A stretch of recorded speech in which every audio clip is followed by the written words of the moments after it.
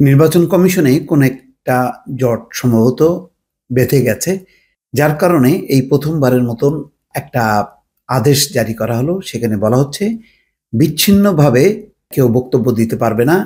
সেখানে একমাত্র মুখপাত্র হচ্ছে ইসি সচিব। তো ইসি সচিব তো প্রশাসনের লোক। নির্বাচন কমিশন একটা সাংবিধানিক কাঠামো। এখানে যারা কমিশনার এবং প্রধান নির্বাচন কমিশনার, তিনি তো শপথবদ্ধ। তো শপথবদ্ধ ব্যক্তি তারা স্বাধীনভাবে কথা বলতে পারবে না। নির্বাচন কমিশনের মূল যে বিষয়টা, সেটা উপস্থাপন করতে পারবে না কেন, এটা খুবই মুশকিলের ব্যাপার এবং এই ধরনের ঘটনা অতীতে কখনো ঘটেনি। মাহবুব তালুকদার নিশ্চয়ই দর্শক আপনাদের মনে আছে, প্রয়াত।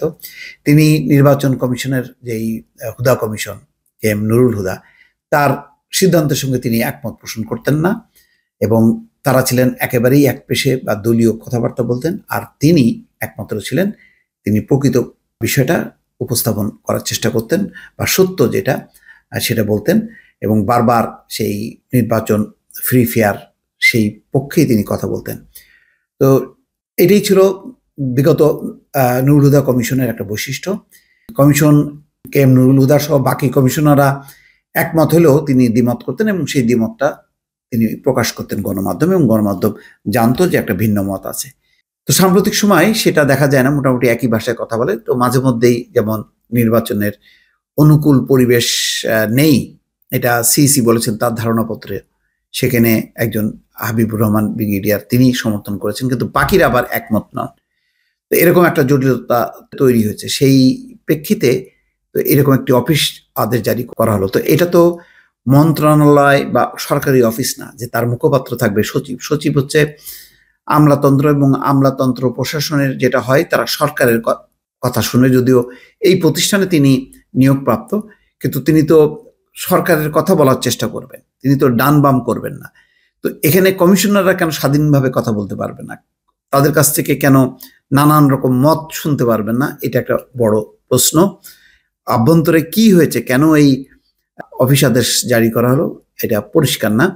তো এখানে যে রিপোর্টটা আসছে যে নির্বাচন কমিশন সচিব মোহাম্মদ জাহাঙ্গীর আলমকে মুখপাত্র করে অফিস আদেশ জারি করা হয়েছে, ফলে এখন থেকে কমিশনের মুখপাত্র হিসেবে গণমাধ্যমের সঙ্গে তিনি ছাড়া আর কেউ কথা বলবেন না। এরকম কি অফিস আদেশ জারি হতে পারে? রোববার এই সংক্রান্ত অফিস আদেশ জারি করেন ইসির জনসংযোগ পরিচালক মোহাম্মদ শরীফুল আলম। সেটাও কি পারে? এখানে তো প্রধান হচ্ছেন সিইসি। যেমন সরকারের প্রধান, প্রধানমন্ত্রী। এখানে তো তার তো প্রেস উইং আছে। তো এমন তো না যে প্রধানমন্ত্রীর প্রেস সচিব যা বলেন, তিনি বলতে পারবেন, প্রধানমন্ত্রী বলতে পারবেন না, তা তো না। প্রধানমন্ত্রী শপথ নিয়েছেন সংবিধানের। তো সেই কারণে তিনিই প্রধান, তিনিই মুখপত্র তিনি সব কিছু পারেন। তো এখানেই একটা অদ্ভুত ব্যাপার, এটাকে কেন আমলাতন্ত্রের জালে বন্দি করা হচ্ছে? এইটা ঘটেনি। নির্বাচন কমিশনের জীবনে কখনোই ঘটেনি। সবসময় গণমাধ্যম কর্মীরা সরাসরি প্রধান নির্বাচন কমিশনার বা অন্য কমিশনারদেরকে কোর্ট করে কথা বলেছে বা তারা ব্রিফ করেছে। সেখানে কেন এই সচিবকে এত পাওয়ারফুল করা হলো? কোন আদেশ থেকে? এবং জনসংযোগ পরিচালক অফিস আদেশে বলা হচ্ছে। সেখানে সিসিরও কোনো আদেশ নেই। কেন নেই? এটা একটা কথা। আদেশে বলা হচ্ছে নির্বাচন কমিশন বিধিমালা দুই হাজার দশের বিধি এগারো এর আলোকে কমিশনের মুখপাত্র হিসেবে গণমাধ্যমের প্রতিনিধিদেরকে ব্রিফ দেওয়ার জন্য ইসি সচিবালয়ের সচিবকে কমিশন কর্তৃক মনোনীত করা হয়েছে। নির্বাচন কমিশনের প্রতিনিধি হিসেবে সচিব, নির্বাচন কমিশন সচিবালয় গণমাধ্যমকে ব্রিফ করবেন। তিনি কমিশনের মুখপাত্র হিসেবে দায়িত্ব পালন করবেন। এর আগে গণমাধ্যমে নির্বাচন কমিশনারদের বিচ্ছিন্নভাবে বক্তব্য দেওয়ার পথ বন্ধ করতে উদ্যোগ নেয় কমিশন এই সংক্রান্ত একটি প্রস্তাবনা কমিশনের কাছে উপস্থাপন করা হয়। নির্বাচনের প্রত্যাশিত অনুকূল পরিবেশ নিয়ে সম্প্রতি নির্বাচন কমিশনারদের ক্ষুব্ধ প্রতিক্রিয়া জানানোর রেশ না কাটতেই এই উদ্যোগ নেওয়া হলো। তার পরিপ্রেক্ষিতে আজ অফিস আদেশ জারি করা হলো। দ্বাদশ জাতীয় সংসদ নির্বাচনের তফসিল চলতি মাসের প্রথমার্ধেই ঘোষণা করা হতে পারে। আর ডিসেম্বরের শেষ বা জানুয়ারির প্রথম সপ্তাহে নির্বাচন করার কথা জানিয়েছে ইসি।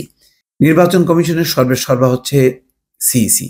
প্রধান নির্বাচন কমিশনার কাজী হাবিবুল আওয়াল। সুতরাং এই ধরনের একটি গুরুত্বপূর্ণ বিষয়ে অফিস আদেশ বা সিদ্ধান্ত দেবেন তিনি, তার বদলে পরিচালক জনসংযোগ দিচ্ছেন, তিনিও এক ধরনের আমলাতন্ত্রের সঙ্গে যুক্ত।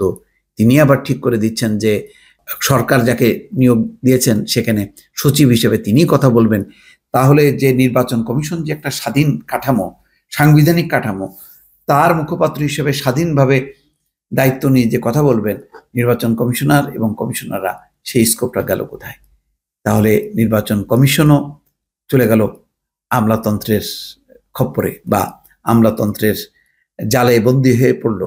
বিষয়টা তেমনটাই না। দর্শক, ভালো থাকবেন। আল্লাহ হাফেজ।